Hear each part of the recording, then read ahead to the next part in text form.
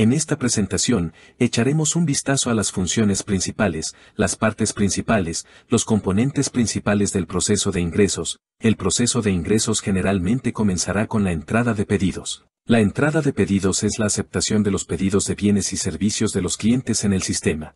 Entonces vamos a tener algún tipo de autorización de crédito si estamos en un sistema en el que tenemos ventas a cuenta y estamos aplicando la autorización de crédito, que es una aprobación de los pedidos de los clientes para la solvencia crediticia. Así que vamos a decir si este cliente es digno de crédito, entonces tenemos el envío, el envío de productos que han sido autorizados. Entonces, una vez que la mercancía haya sido autorizada, tendremos el proceso de envío nuevamente, esto considerando que vendemos Estamos vendiendo productos que luego vamos a enviar, estamos enviando los productos que se han pedido y donde los clientes han visto que tenían solvencia crediticia para ellos. Luego tenemos el proceso de facturación, la emisión de facturas de venta a los clientes por los bienes enviados o los servicios prestados, el procesamiento de los ajustes de facturación por descuentos de asignación y la devolución. Así que ese va a ser el proceso de facturación. Y luego, por supuesto, tenemos los recibos de efectivo, una vez que hemos enviado la factura, esperamos recibir efectivo, Podemos considerar esto y pensar en esto como efectivo que se recibe en el correo que se ha facturado anteriormente, luego se procesarán los recibos de efectivo del cliente. Y luego vamos a tener las cuentas por cobrar, el registro de todas las facturas de venta, cobros y memorándum de crédito. Y las cuentas individuales de los clientes, tenemos que hacer un seguimiento de las cuentas de los clientes dentro de, por supuesto, las cuentas por cobrar y los libros auxiliares relacionados. Y luego tenemos que considerar el libro mayor, las cuentas de tipo GL que es la clasificación de acumulación, resumen de ingresos, cobros y cuentas por cobrar en las cuentas de los estados financieros. Así que repasemos esto con un poco más de detalle.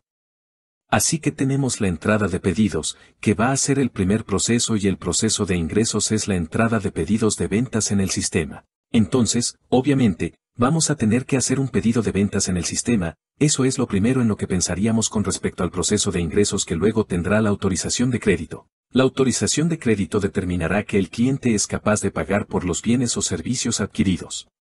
La falta de autorización del crédito puede dar lugar a una gran cantidad de deudas incobrables para la entidad. Entonces, si no hay autorización de crédito, entonces, por supuesto, podemos darse el caso de que, dependiendo de la industria, la deuda incobrable esté aumentando, lo que significa que tendríamos una mayor probabilidad de que no haya pagos del crédito. Entonces, nosotros, como auditores, queremos determinar si va a haber ventas si hay muchas ventas en primer lugar que son a cuenta, lo que significa que no obtuvimos efectivo en el punto de venta. Y si va a ser un tipo de industria que va a tener un alto grado de posibles impagos, a cuenta, un alto grado de deuda incobrable y qué nivel de solvencia dentro del sistema en términos del control interno para verificar el crédito está en su lugar. Y luego están aplicando la política de una verificación de crédito y probando ese control interno. Los productos de envío no deben enviarse y los servicios no deben proporcionarse sin la debida autorización.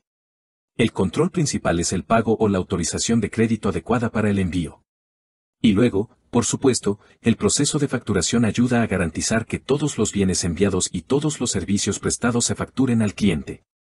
Luego tenemos los recibos de caja, todo el efectivo recaudado debe ser identificado y depositado en el banco.